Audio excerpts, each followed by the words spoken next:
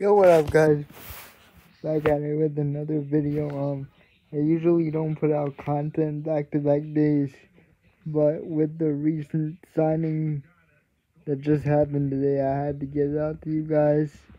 Uh, Rafael Devers signing an 11 year deal worth $331 million to stay with the Red Sox. Um, to say the Red Sox have had a confusing offseason would be putting it lightly, frankly. Um, they lose Bogaerts, they lose Nathan Eovaldi, but they go out and sign Masataka Yoshida and Devers to this monster extension. So I don't know what they're doing. Uh, frankly, but again, he's a he's a top five talent in baseball, and I guess they didn't want him going anywhere. So they did what they had to do. I like that signing for them, but again, I don't know what they're doing. This is a very very confusing offseason to diagnose for them. I wonder if they can make a run at Shohei Ohtani? Is that what they're um is that what they're uh talking about with Devers as like another piece to surround him with because then I would understand that. That would be a long shot, but again, right now he's their only piece along with the aging Trevor Story. But for me, the Red Sox have no pitching whatsoever with the loss of Eovaldi, and you can't trust Chris Sale. They're fielding calls to tr- calls for him to get traded.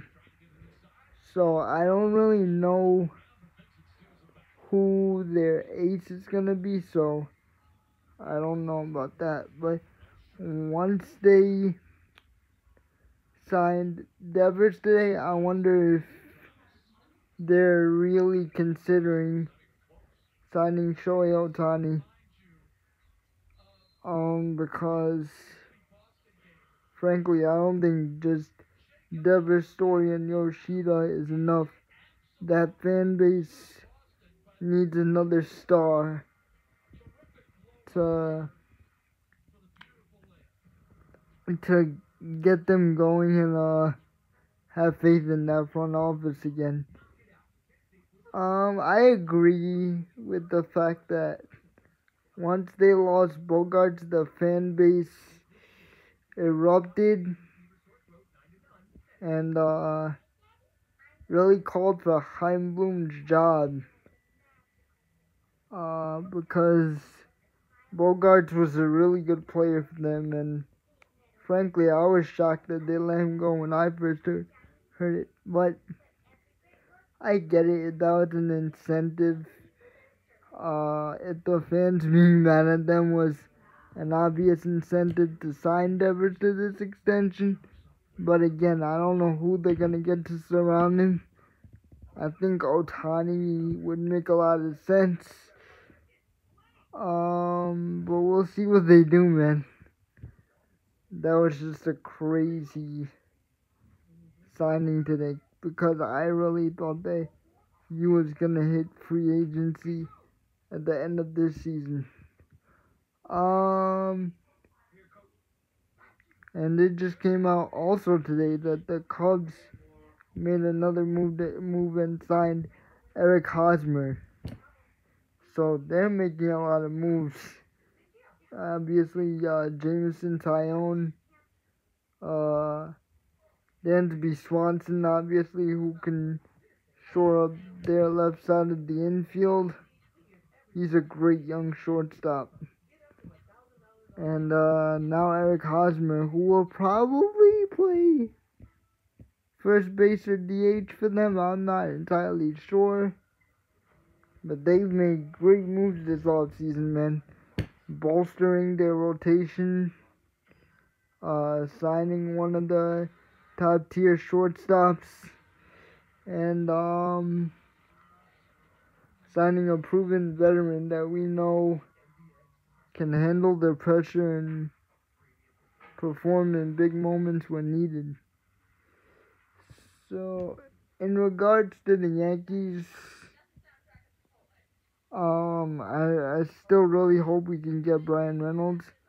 I'm one of those people that think he will get traded before spring training because I just don't see him lasting on Pittsburgh until the deadline.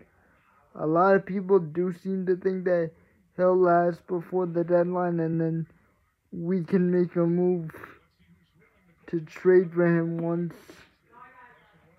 stats start being put up.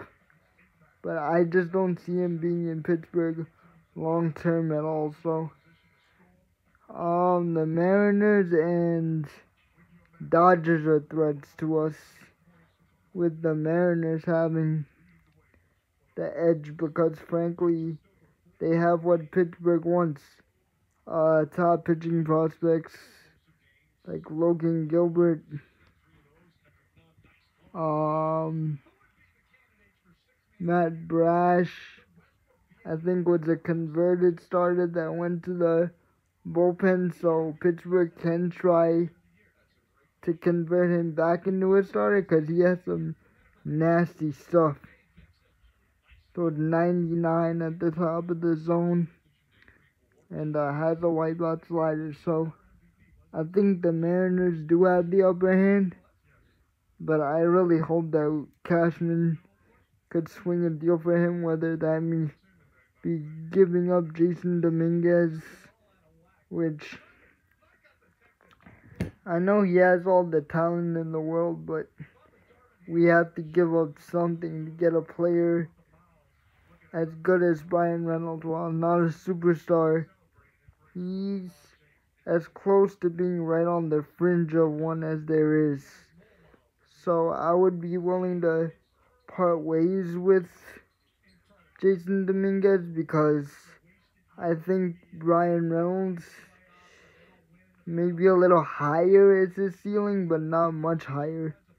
So I would be willing to part ways with Dominguez, uh, Clayton Beeter. Apparently, this guy's a stud that we got um in the Joey Gallo trade he's a stud pitcher. But again, that's what Pittsburgh wants to acquire in a, in a deal, then we have to part ways. Uh, Will Warren could be another guy that we could trade. He is also a highly thought of prospect. It makes you it makes you a little mad that well at the time I thought it was a good move. Just like I thought Sonny Gray was a good move back then. And look what happened. But at the time, I thought it was a good move to acquire Frankie Montas at the trade deadline last season for J.P. Sears and Ken Waldichuk. But if we had held on to them, then I feel like we could have definitely swung a deal for Reynolds because Sears and Waldichuk were two of our best pitching prospects that had a lot of upside. I feel like we could have really used them to swing a deal for a position of need in Bryan Reynolds.